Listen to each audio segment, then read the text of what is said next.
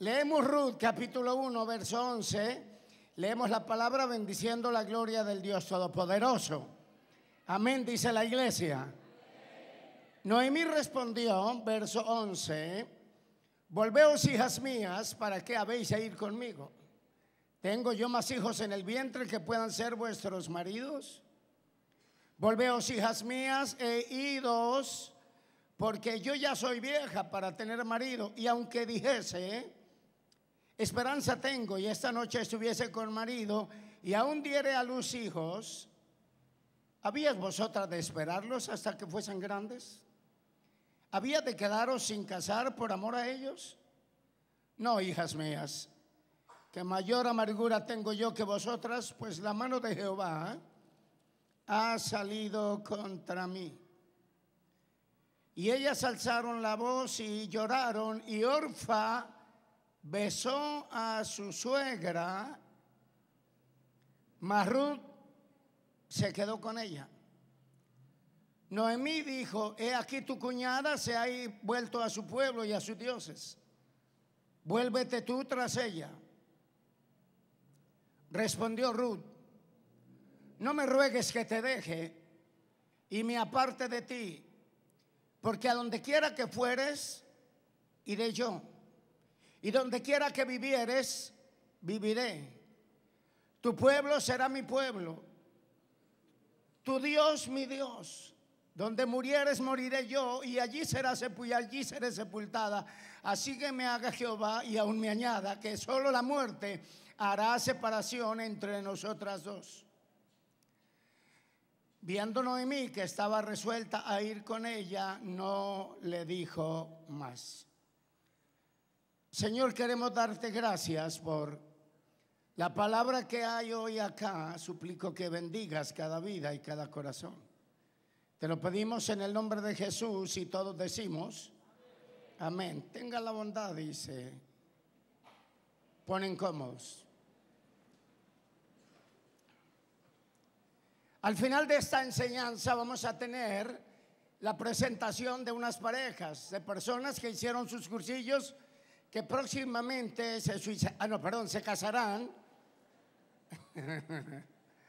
se casarán y otros que vinieron a la iglesia ya estando viviendo y que entendieron que no era la mejor forma de vivir o dar ejemplo a sus hijos y también ellos se casarán.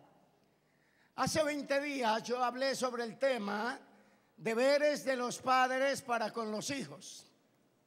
Hace ocho días prediqué sobre el tema, eh, mujeres, ayúdenme por favor, mujeres qué? Mujeres elegidas por Dios en un momento crítico.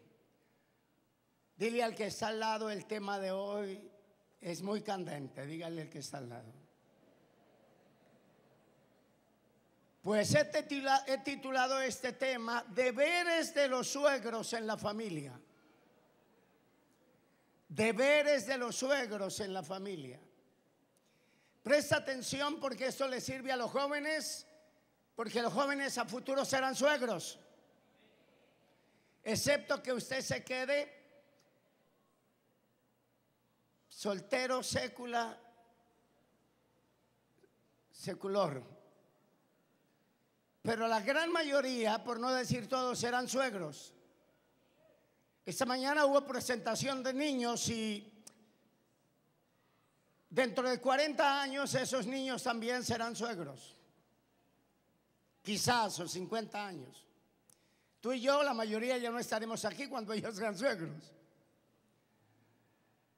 Por eso al hablar de los deberes de los suegros en la familia, lo hago porque en el núcleo de la familia los suegros juegan un papel importantísimo en la vida de los hijos, en la vida de los yernos, en la vida de las nueras y en la vida de los nietos. Gracias por su emoción. Dije que en el núcleo de la familia los suegros juegan un papel importantísimo en la vida de los hijos, de los yernos de las nueras y de los nietos. Y dentro del rol de los suegros No sé por qué, pero la suegra se ha hecho más famosa que el suegro y más notoria. Comencemos por este. Hay miles y miles de chistes de las suegras. Se molesta mucho con la suegra. No he oído al primero que moleste con el suegro. Qué silencio, me gusta eso. No sé si es que porque en algunas ocasiones, algunas ocasiones, algunas de ellas son más influyentes en el matrimonio de sus hijos. Son más posesivas. Son más dominantes, especialmente si es santanderiana. Y en ocasiones, en ocasiones son más... Ah, entrometidas.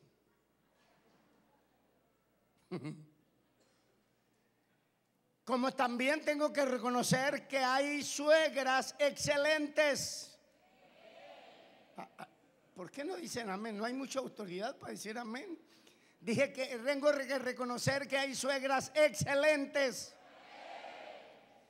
Porque su labor con sus hijos, yernos o nueras no es otra labor que construir ese nuevo hogar, ayudar a construir o restaurar ese hogar cuando necesita ser restaurado, con un consejo, con una ayuda, con una oración.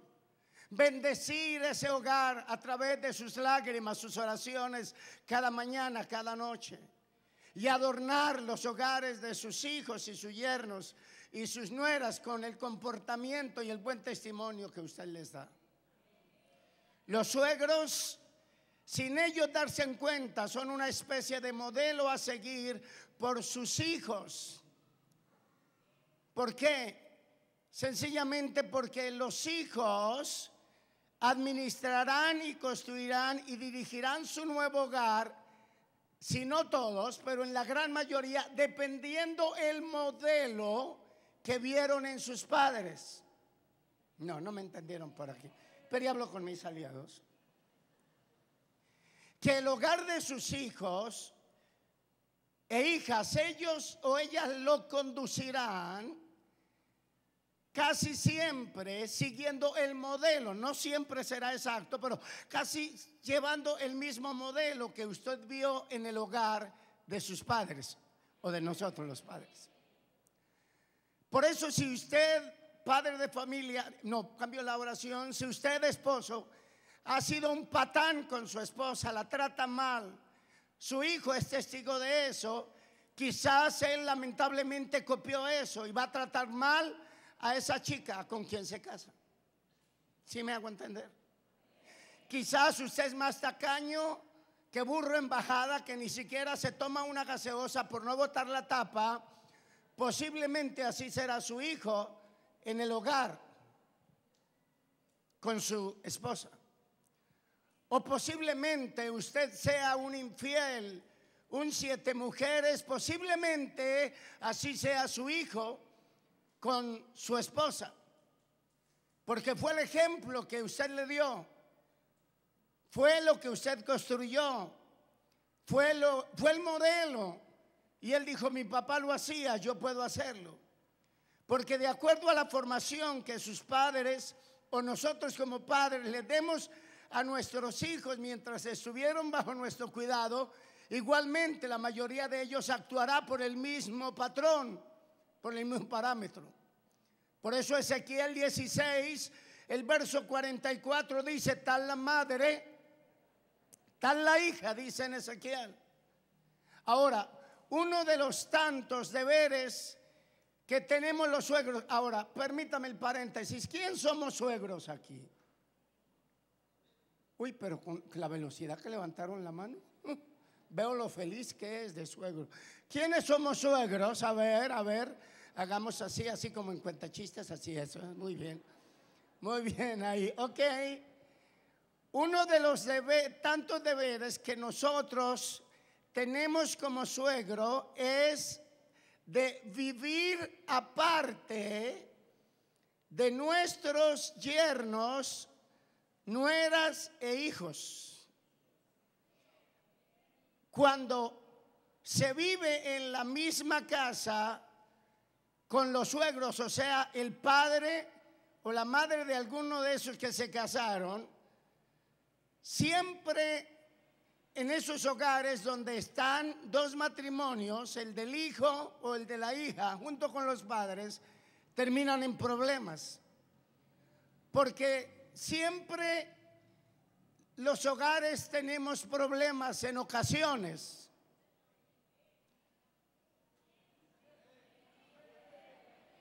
Uy, dije el rapto porque estoy en el cielo, porque no hay problema. Siempre los hogares tendremos problemas. Quizás no a diario. Yo ya pasé esa etapa. Pero sobre todo los hogares nuevos. Porque son las etapas del acoplamiento. Y no es fácil. La fusión de dos caracteres diferentes. Entonces cuando el chico se queda a vivir en un apartamento de la casa de papá o mamá, los viejos en una forma directa o indirecta se entremeterán en los problemas que los chicos puedan tener. Y cuando tengan un pleito, usted mujer, que a veces, a veces, no siempre, a veces son las más peleonas, entonces le va a decir a su yerno, no me trate la niña así, que ni siquiera yo la grité atrevido. Y desde luego, el muchacho le va a decir, vieja orejona, para no se meta en mi hogar, déjenos nuestros problemas. Y ahí empieza a formarse los pleitos y los problemas.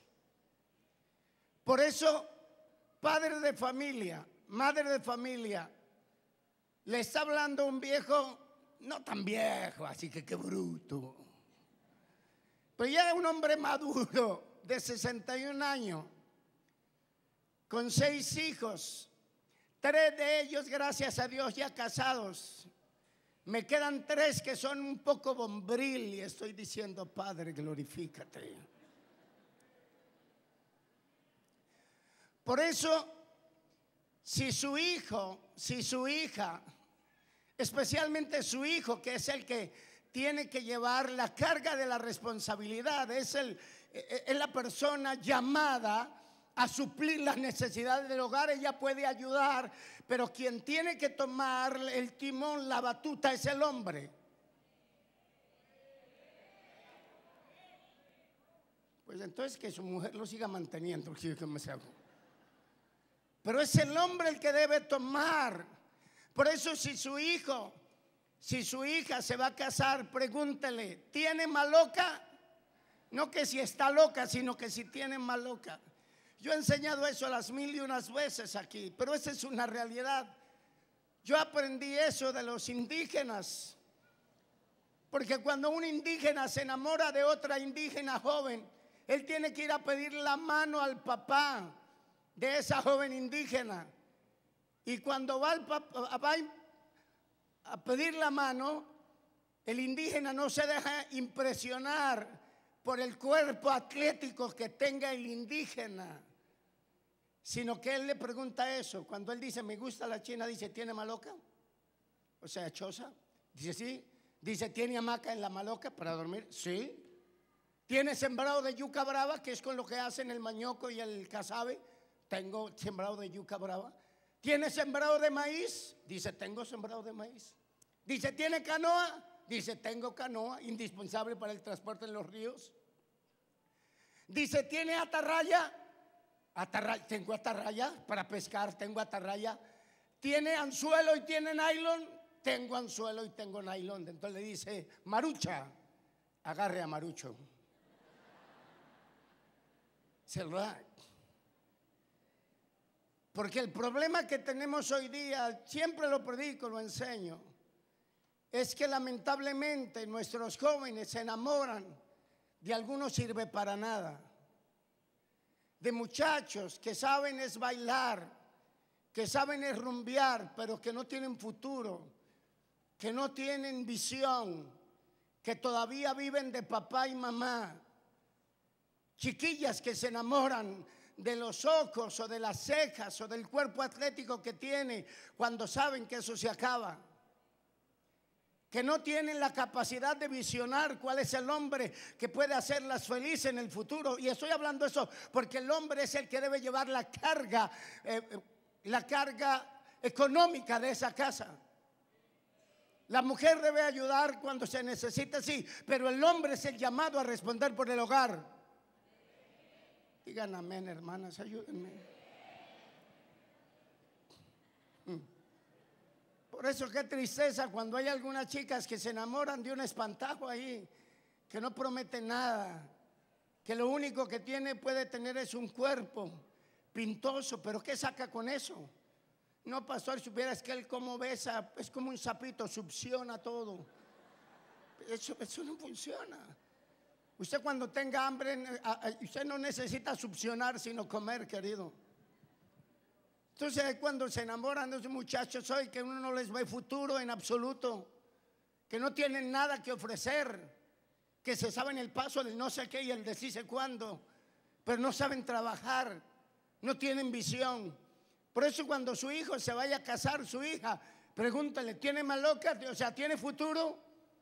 Cuando su, alguien llegue a decirle que si deja entrar a fulano para comenzar una relación con su hija, dígale en qué trabaja, a qué se dedica, cuánto se gana al mes.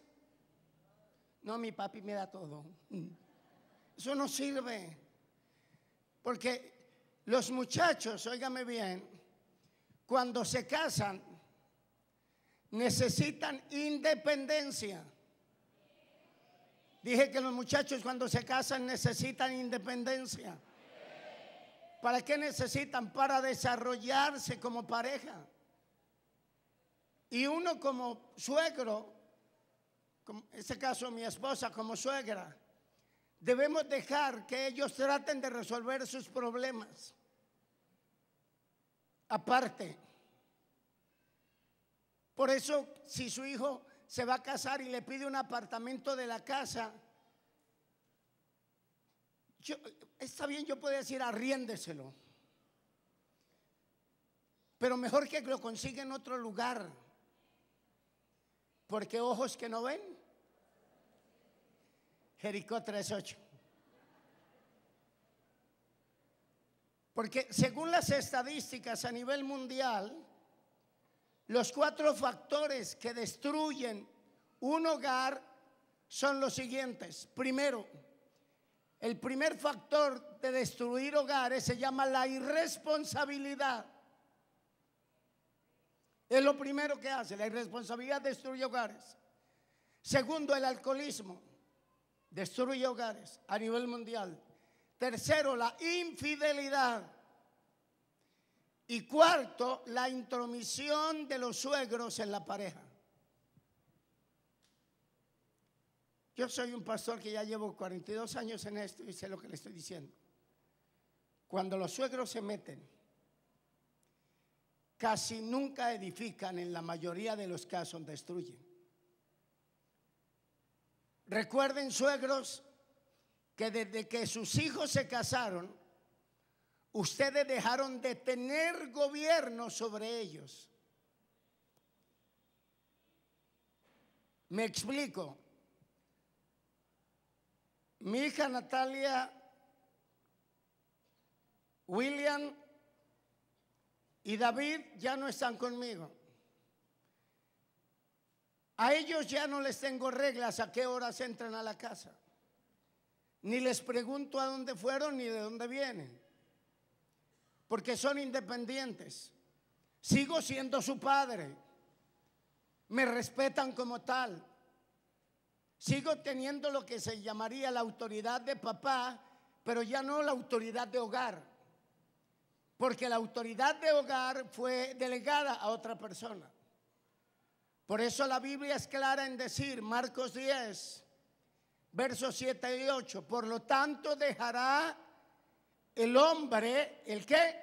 El hombre a su padre y madre y se unirá a su mujer y los dos serán un solo cuerpo.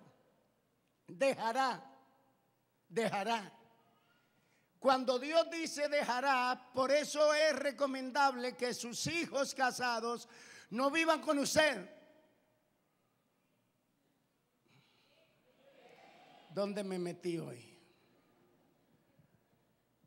Vuelvo a repetir ese pensamiento. Es recomendable que su hijo e hija casada ya no viva con usted. ¿Por qué no es bueno? Número uno, porque la Biblia dice, dejará el hombre a su padre y madre. Los dejará. No estoy hablando, no dice los abandonará. Cuando dice los dejará es que se hace a un lado del nido y crea otro nido, pero no los abandona. Los está viendo y si puede los está ayudando, protegiendo, amando y queriendo. Cuando dice dejará, no nos habla de romper comunión, nos habla de independencia. Yo tengo mucha autoridad para hablar de esto. Mi ¿Cuántas veces fui a tu apartamento, William? ¿Dos veces allá donde vivías en los edificios? Dos veces. ¿Cuántos años viviste allá? ¿Tres años? Fui dos veces al apartamento. Natalia, ¿cuántas veces ha ido a casa? Dos veces. ¿Cuántos años llevas allí? ¿Cinco años?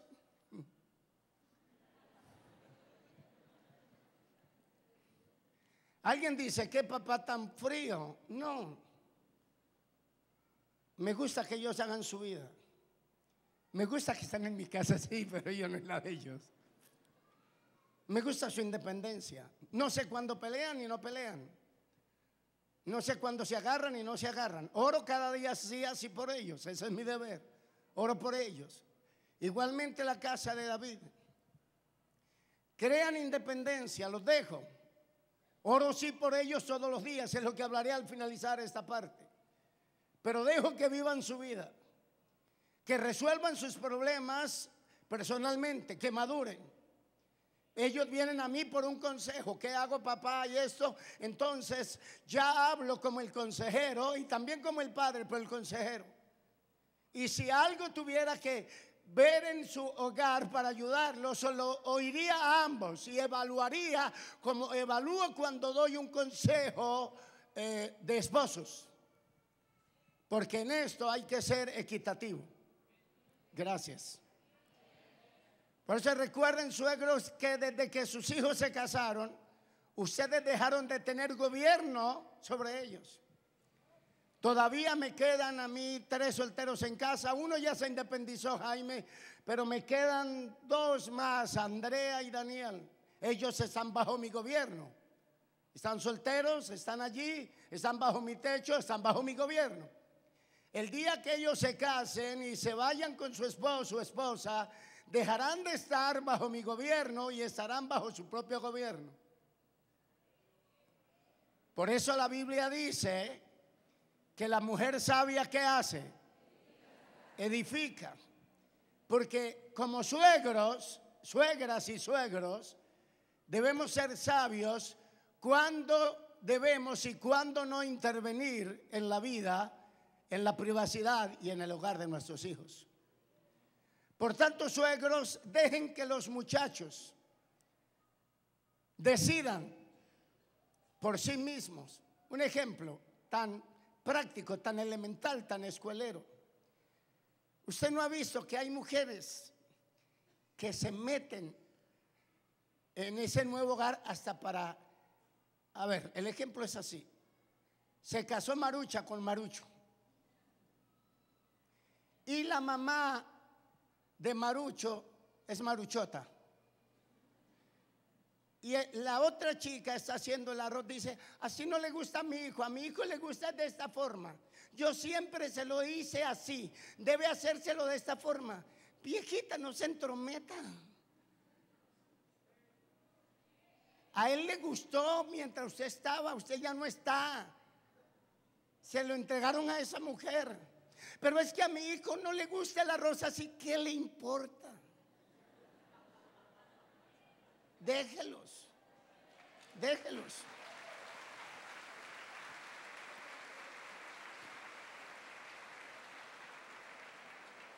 ¿Por qué? no es que sea arroz. Mire, mire, mire, es que esa mujer no sabe cocinar. Mire, mire, no sabe cocinar de malas. Él la escogió así. Él fue el que la escogió. Él dijo que era que tenía unos pechitos, no sé qué, una cinturita de avispa, que era un guitarrón. Pues, ¿qué hay con su guitarrón mientras come arroz requemadón? Sí, sí. ¿Quién le mandó coger a esa Miss Universo espejo que en la cocina, cada que ella entra a la cocina, se burla de ella? Lógico, porque tuvo una mamá que no la enseñó.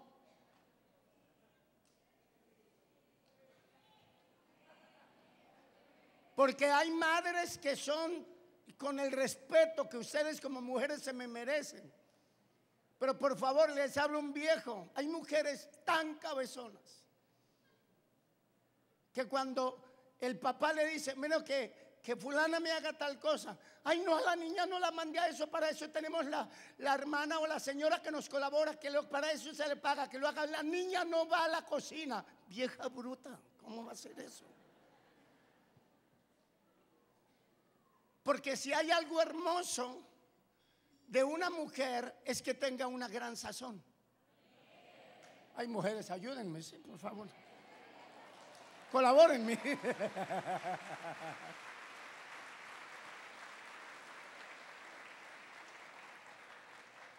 Dígame a nosotros los hombres que ya le tenemos sentido a la vida, no que vivimos de ilusiones como los muchachos que todavía no, no todavía no saben hacia dónde van. Ellos solamente miran ese el guitarrón. Pero pero pero nosotros ya la gente que hemos andado la vida ¿Qué más nos impresiona? Una mujer, a ver, una joven que tiene una, un cuerpo de guitarra. Ok, qué belleza, qué bonita, qué linda esa niña, hermosa, wow, bellísima, bellísima. Y, pero hay, eso pasa. Pero cuando hay una chica que quizás no tiene ese cuerpo de guitarrón, pero tiene una sazón, me sale en verso que no tiene el cuerpo de guitarrón, pero tiene una sazón, sale en verso el asunto. Entonces cuando ella le trae el almuerzo, dice, ¿y quién preparó eso? Dice, la niña Claudia, ella tiene 19 años y ella cocina muy bien. Dice, esa niña, uy, oro para que Dios, afortunado, dice uno, y se vuelve hasta poético, afortunado el marido que, que caiga en manos de esta niña, porque no solamente lo llenará de besos y de abrazos y de amor, sino que le tendrá contento el barrigón.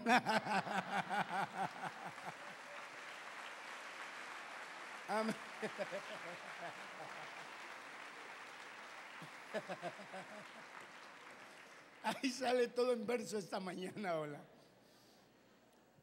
Ay, Señor. Bueno, sigamos. Entonces, deje que sus hijos vivan su vida. Usted puede dar una opinión, óigame bien, usted puede dar una opinión. Si quiere hacerla. Pero con mucho respeto, querida, ¿no te parece que te quería? No, suegrita, a mí me gusta esa así. Ah, ok, genial. Pero hay mujeres que no entienden que su hijo o su hija ya es independiente y le dice, mija, ¿y por qué no pones? No, suegra, a mí me gusta, pero a mí me gusta así, póngalo así, hágame el favor. Y todavía quiere que están mandando ahí. Y lo que traen es problemas. Deje entonces Deje cocinar a ella, que si no sabe cocinar de malas, él la escogió así. Que se come ese arroz orochao, esa sopa sin sal, que se come esa ensalada, hermano, que parece un purgante. Déjelo, déjelo. Él le escogió así. Déjelo que sufra un poco. Ahora, deje que ellos organicen su cocina, la sala ¿Dónde ponen el televisor? No se meta. ¿A usted le parece ridículo donde pusieron el televisor? Déjelos, ellos son ellos. Pero, pero mi hijo es que uno para ver televisión hay que hacer así. Pero a ellos les gusta mirar televisión así. Déjelo. Cuando quiera ver un programa, venga hacia la casa. No vaya allá, sino de visita, porque quien ve noticias así, pero ellos quieren estar así.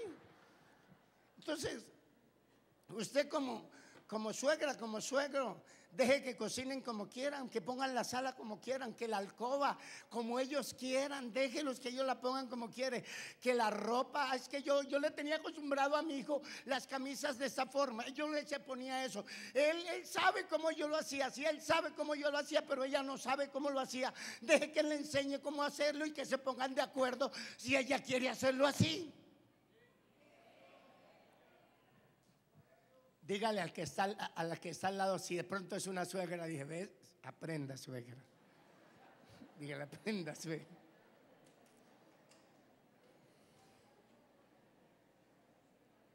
Óigame bien esto, suegros. Suegros, ustedes saben que ustedes pueden dar consejos a su hijo, su yerno, su nuera, pero no órdenes. ¿Me explico?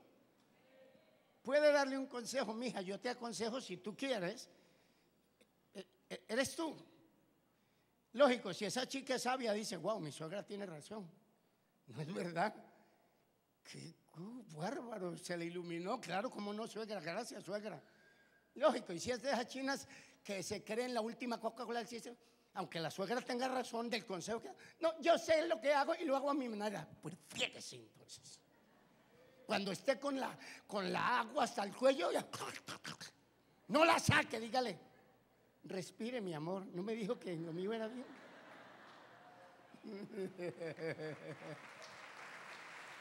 Amén.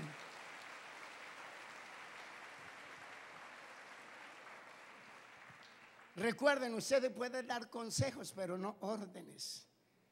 Noemí, yo admiro a Noemí porque Noemí fue una suegra tan influyente que logró impactar el corazón y el alma de sus nueras. Noemí, sus nueras anhelaban que, que, su suegra viniera a visitarlas. No es como cuando alguna suegra va a visitar a su yerno o a su nuera que ponen la escoba detrás de la puerta. ¿Para qué, es que la ponen? Tienen que salir de todas esas supersticiones, yo. sí, para que se vaya rápido.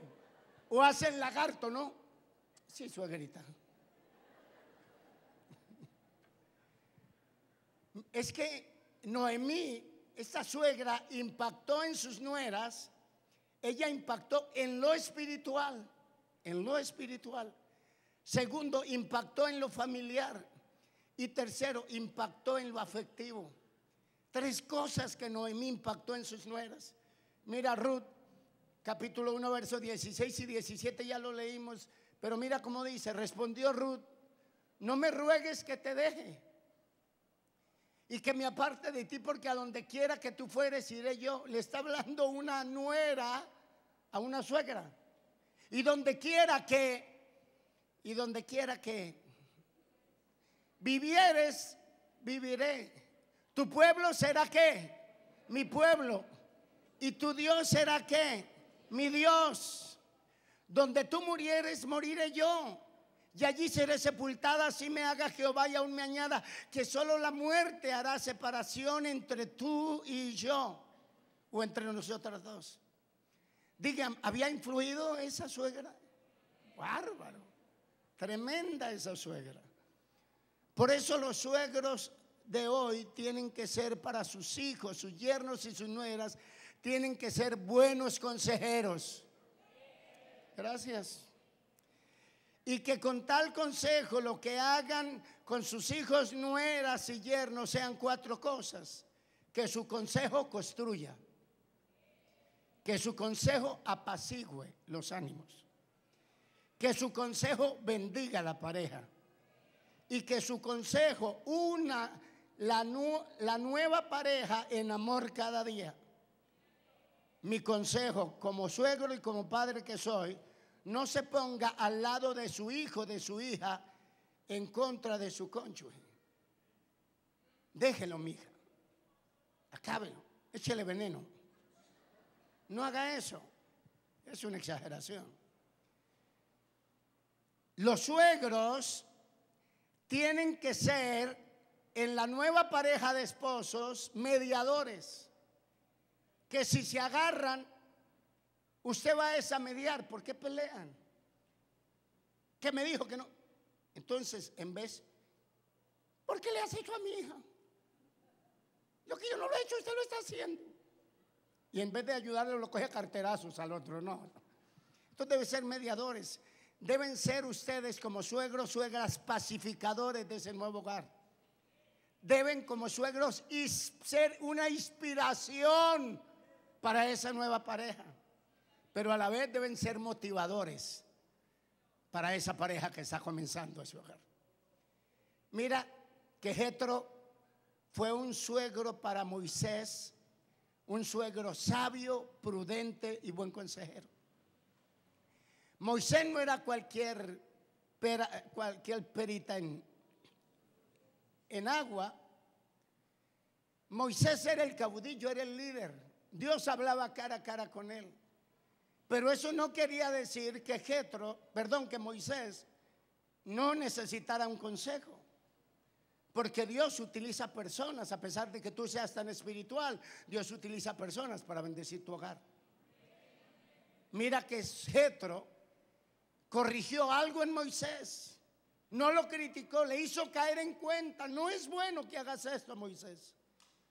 ¿Por qué él le hizo eso? Si, él si Moisés era el hombre de Dios, él había podido decir, suegro, no se meta, es mi vida. Jehová habla conmigo cara a cara como a nadie.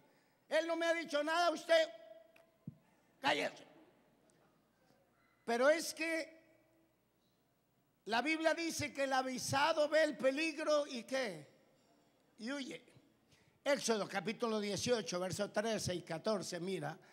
Aconteció que al día siguiente se sentó Moisés a juzgar al pueblo y el pueblo estuvo delante de Moisés desde la mañana hasta la tarde, que es la noche. Viéndole quién, quién, el suegro de Moisés, todo lo que él hacía con el pueblo, dijo, ¿qué es esto que haces tú con el pueblo? ¿Por qué te sientas tú solo y todo el pueblo está delante de ti desde la mañana hasta la tarde? Ahora, subsiguiente, él le da una serie de consejos. Y miren lo que hace Moisés, lo vas a leer en casa, la serie de consejos. Mire lo que dice el verso 24 de eso. Y oyó Moisés que la voz de su suegro e hizo todo lo que le dijo.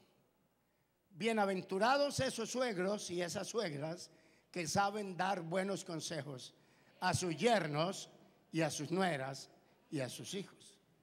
Dije que bienaventurados.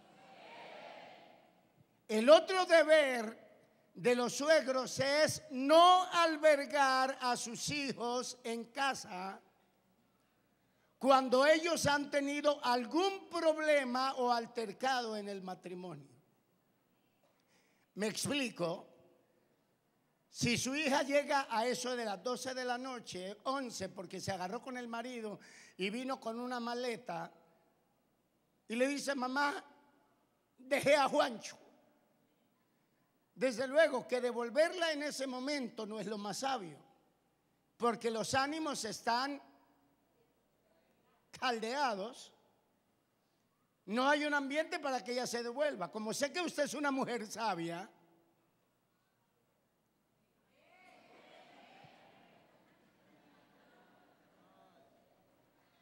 ay Señor, ¿yo qué hago? ¿A dónde me voy a pastorear?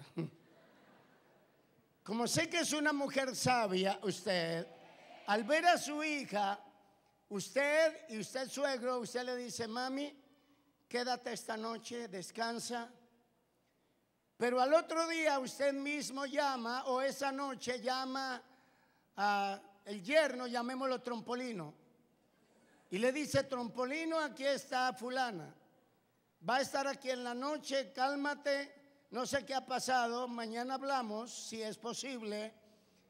Y al otro día le va a decir a su hija, mi amor, Voy a tratar de ayudar si hay un consejo que dar. No quiero intervenir en tus problemas, pero esta ya no es tu casa. Tú te fuiste de aquí y yo te entregué en un altar. Por lo tanto, esa ya no es tu casa. Usted eligió a ese hombre como su marido. Fue tu decisión. Así que vamos a que resuelvas ese problema. Toma de nuevo tu mamá, pero yo no quiero. Se va.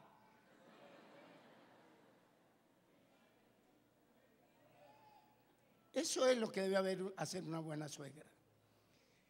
Y si es posible llegar y dar un consejo, si se ponen de acuerdo, quieren algún consejo, quieren que yo los oiga.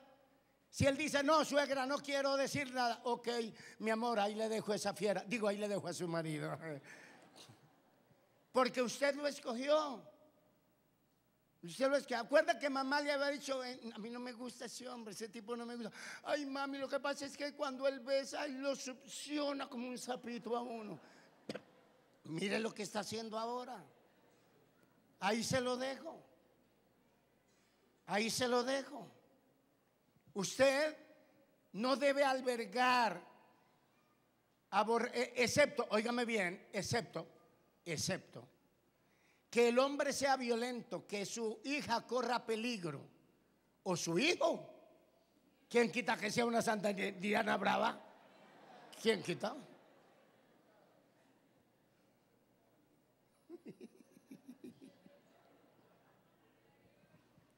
Bueno, yo sigo.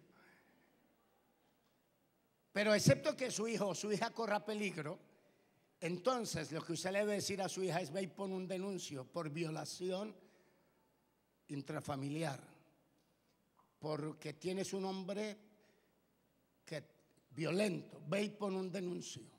Ya no es tu caso, ve a la policía, ayúdala. Pero si son problemas de eso que me dijo, que no le dije que hora de burro, que trompebaca, esos problemas. Alguien dijo que la ropa, acabó de decir Santos, que la ropa sucia se lava en casa. Por eso cuando ellos tengan algún problema, algún altercado en su matrimonio, ayúdenlos, pero no los albergue en su casa. Ellos dejaron su casa y tienen su casa. Ahora, los suegros no deben acostumbrar a sus hijos y a sus yernos, nueras, a darles todo lo que ellos necesitan. Aclaro, no estoy hablando que usted no apoye a sus hijos, a su yerno, a su nuera, al matrimonio nuevo. Apóyelo. Si lo puede, si tiene formas de decirle, te voy a dar estos cinco millones para el negocio que me dijiste. Mira a ver cómo los administras. Y me das cuenta dentro de seis meses de las ganancias que tienes de estos cinco millones. Voy a ayudar, pero no les dé todo. Déjelos que pasen ciertas dificultades. Déjelos que tengan ciertas carencias. Porque cuando usted, hermano mío, les da todo, ¿Sabe qué hace con ellos? Les hace daño. ¿Por qué les hace daño? Porque enseña a esa nueva pareja a ser negligentes, irresponsables, atenidos y vagos.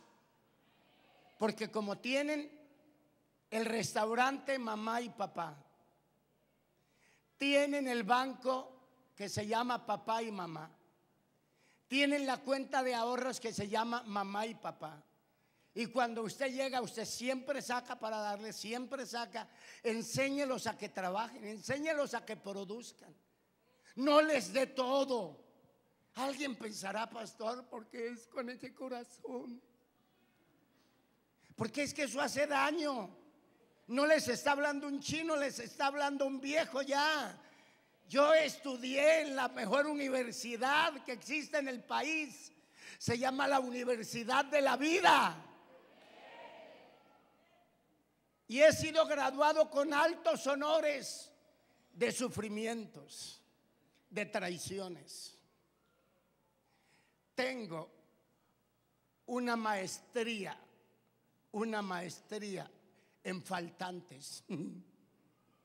Les he dicho a ustedes, cuando he comenzado, comencé el matrimonio, no había mayor cosa Tuve que pasar dificultades. ¿No creen ustedes que es injusto lo que en ocasiones uno pasa? ¿Quieren que les cuente algo? Claro, pastor, suéltela, ya voy. Voy predico en una iglesia. Estamos comenzando el ministerio. Hablo de 38 años, 37, qué sé yo. No llevamos muchos años. La situación económica es crítica. Me invitan a una campaña de 12 días en una iglesia que por ética no digo qué misión 12 días. La gloria de Dios está allí en esa iglesia. Pero hay una presencia, se convierte las almas, sanidades, liberaciones, bueno, tantas cosas. El pastor me utiliza y cada que terminaba el culto ministrar, él me decía, este hombre de Dios, este hombre nos ha traído una palabra. Yo sé que ustedes ya ofrendaron. Pero por favor quiero una ofrenda especial para ir acumulando, para dársela una, una ofrenda remecida al pastor al final. Yo no tenía para el mercado y decía, gloria a Dios, va a proveer el Señor. No tenía para el arriendo y tenía que irme para Villavicencio a una campaña, así que dependía todo de lo que Dios me proveyera ahí. Y el pastor hacía, hacía propaganda para recoger la ofrenda y me ponía hasta de como de, Mire este pastor que se ha, esmerado y ha traído una palabra y me pone 12 días. A los 12 días que yo no tenía casi un peso, ¿sabe qué me dio de ofrenda? Una gaseosa y un pan. Se robó toda la ofrenda, hermano. Y yo salgo ahí con lo del bus, pensando que de mercado. ¿Con qué me voy para Villavicencio? ¿Con qué pago el arriendo? ¿Qué era todo lo que yo pagaba en arriendo? Eran 1.200 pesos, pero en ese entonces 1.200 pesos era mucha plata. No tengo. El pastor se quedó con toda la ofrenda que recogió supuestamente para mí. No tengo para él. Eso es lo que yo llamo la universidad de la vida. Porque, porque aunque el hombre actúa así, Dios nunca me desampara. Aleluya. Por eso Él dice, nunca te desampararé y nunca te dejaré. De manera que podemos decir confiadamente, el Señor es mi ayudador. No temeré lo que me pueda hacer el hombre. Esa es la universidad de la vida. La Universidad de la Vida es que le he hablado a muchas niñas. Por favor, querida, ese chico me parece que no es la persona, ay, pastor. Es más, si uno le dice no, entonces se las echa de enemigas o de enemigos. No le vuelven a uno a hablar, ya no le dice, papi, Dios le bendiga, papá, Dios guarde. Sino, pastor, ¿cómo está? ¿Por qué? Porque me le atravesé en los sentimientos. Pero uno sabe, uno, uno, uno, ¿cómo lo explico, hermanos? Uno se vuelve como con olfato de perro. No, no me entendieron. Hablo en el sentido figurado. Que viene alguien y me lo presenta y uno dice, uy, no, este no pinta para nada. No es que uno, no, no, sino que uno percibe, no, no. Hay algo en uno que dice, no, esto no sirve, Dios. Y le dice, mire que esto, que aquí, que allá. Hermanos, son mis sentimientos. Yo lo quiero y qué. Ok, veo. Entonces, cuatro, cinco años, no, no que cuatro, dos años. Cuando pasan las emociones del...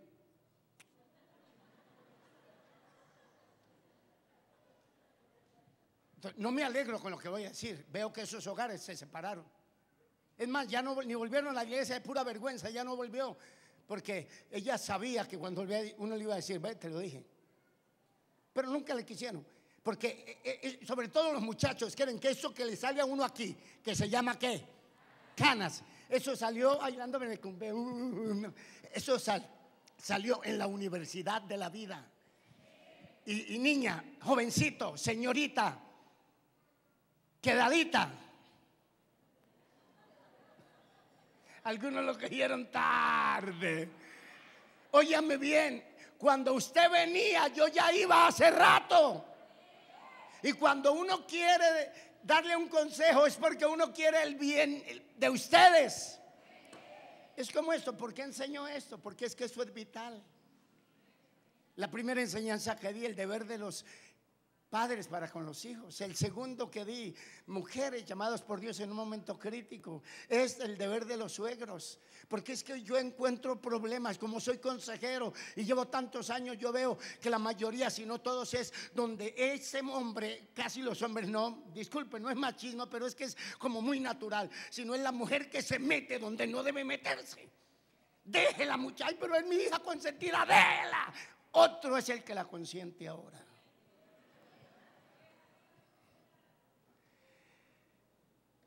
Además, si usted no deja que sus hijos sean la pareja que deben ser con sus altos, con sus bajos, con sus escaseces, cortará de ellos la prosperidad.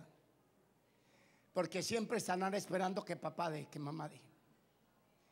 Cortará la visión por su hogar, los callos en las manos, o sea, la experiencia de la vida, el espíritu de lucha y la que llamamos la lección de los faltantes de ciertas carencias.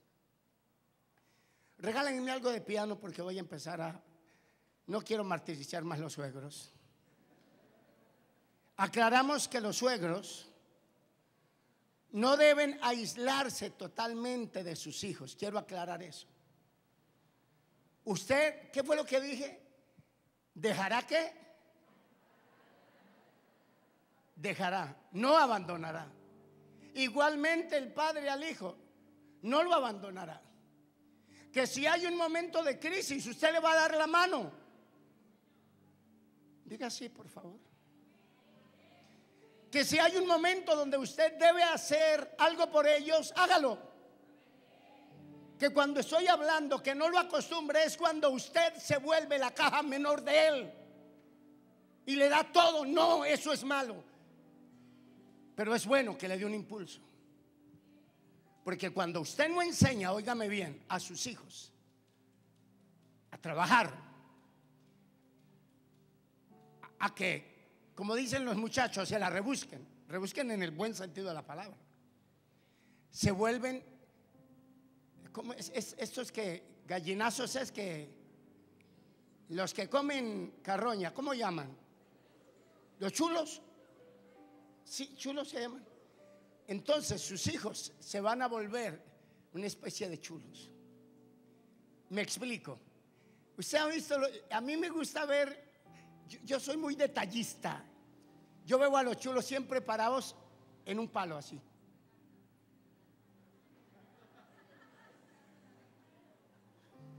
Ellos que están esperando que alguien se muera para ellos caerle. ¿A dónde quiero aplicar esto?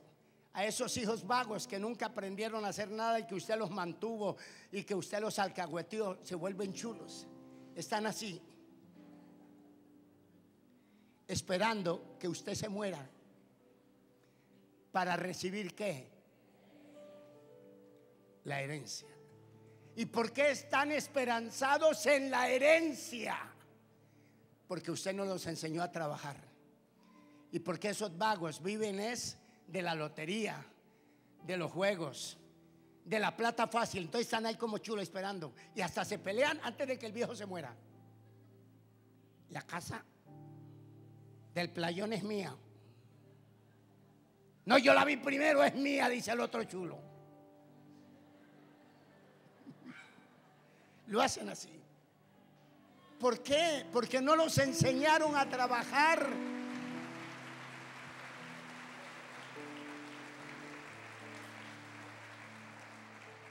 Debe enseñarle a trabajar a su hijo, a su hija. Pero reitero, hay mujeres que ni siquiera dejan a sus hijas cocinar. ¿Cómo las va a enseñar a trabajar? No les prive a sus hijas de estar en la cocina. Hablo de las solteras, las casadas que estén en otra cocina. Pero ayúdenlas, por favor. No sea un mal padre, una mala madre. Voy a cerrar diciéndoles que usted puede ayudar a su hijo, a su hija. Usted puede darle un empujón, pero no los acostumbre a darles todo.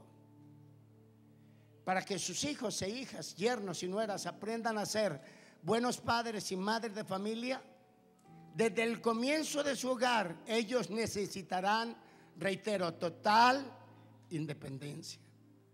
Recuerden nosotros como padres ya viejos que somos, que son las dificultades, los pleitos y los problemas en el, hogar, los que moldean y forman el carácter de la pareja, la templanza y el dominio propio. Díganme ustedes, la pareja, ¿en qué edades que a veces más pelean? ¿No es a los comienzos? Yo ya voy a completar casi 40 años de casado, mucho aguantar, ¿no? Pero yo les he dicho a ustedes que yo ya no peleo en mi casa. Antes me agarraba. A ver, ¿cómo lo explico? He superado muchas cosas con los años. He entendido que no le puedo poner algo que a mí no me gustaba. Es que yo fuera a tomar las once si Carmen no estuviera. Ella me las tenía que servir. Esa era una costumbre buena, pues sí. Pero lo malo en mí, ¿puedo confesarme? Mm. Suéltela, pastor. Pero algo es que a mí me gustaba que ella me sirviera. Y cuando no, ¿sabe qué? Yo así, así estuviera todo ahí, yo no lo servía. Y entonces yo me ponía todo jetón. ¿Y dónde estaba? Y teníamos disgusto por eso. Ahora ya no soy tan...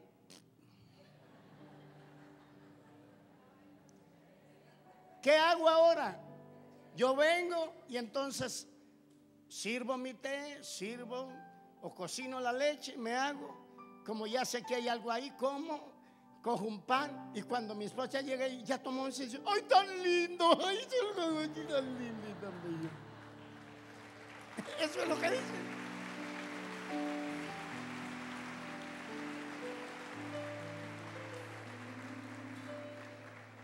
Ya no me agarro por eso. Ya la tomo suave porque entendí que era una tontería. Eso me ocurrió hace muchos años atrás. Ahora, a veces, no siempre, a veces, no sé por qué, no sé si es en todos o excepciones, la, señora o la mujer ve las cosas diferente a uno. Uno le dice, mami, alcánceme ese, ese esfero amarillo. Dice, ¿cuál? Ese que está ahí. Eso no es amarillo, es azulito. Mami, eso es amarillo. No, es amarillo, azul. Y realmente eso es amarillo. Y antes disgustábamos por eso, pero es que usted que no ve, se está quedando ciega o qué, ve amarillo. Entonces, ahora cuando dice, le digo, mami, alcanza el enfermo amarillo, dice, eso es blanco. Yo, no, mami, esa, no, el amarillo ese. No hay, no hay amarillo, ahí es blanco. Entonces yo me decía, ah, sí, el blanco, alcánceme el blanco. Ya le llevo la flota, ya mi abuelo. No hay problema. No hay problema por eso.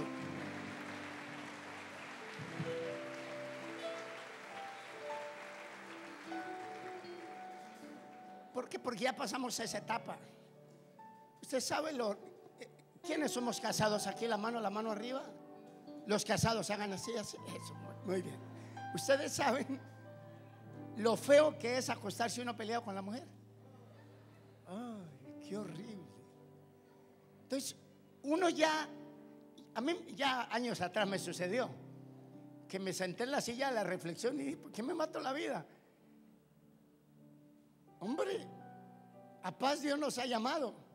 Entonces hago que el efero amarillo se vuelva negro. Ahí sí no hay problema. Y luego duermo tranquilo. Y que si ese gato me dicen que es ardilla, yo digo, ay, pero yo no había visto un gato, una ardilla que dijera, miau. Pero ok, si es ardilla, dejémoslo ardilla. Eso es que sabiduría y experiencia.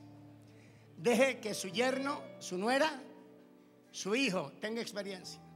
Dejen que hayan esas fricciones.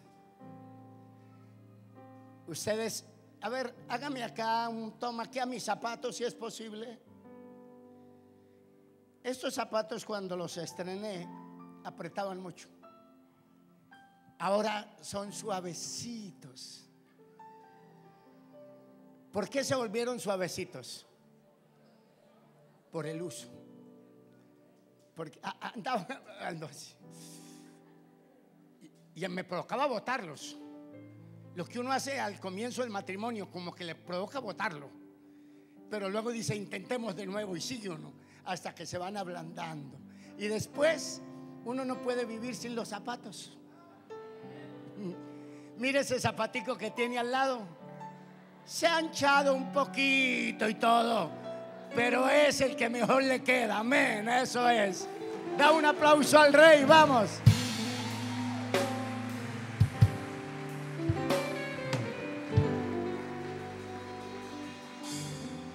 Por eso, suegros, hijos e hijas, yernos y nueras, si hay algo grande que podamos tener es la familia.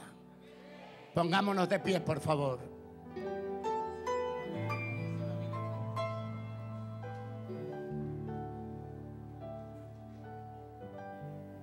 Dale una palmadita al que está al lado y dígale este mensaje fue para ti. ¿Quiere levantar una de sus manos, por favor? Levante una de sus manos. Mi familia está llena de ti. Yo sé que estás aquí. Dígalo, por favor. Mi familia está llena de ti.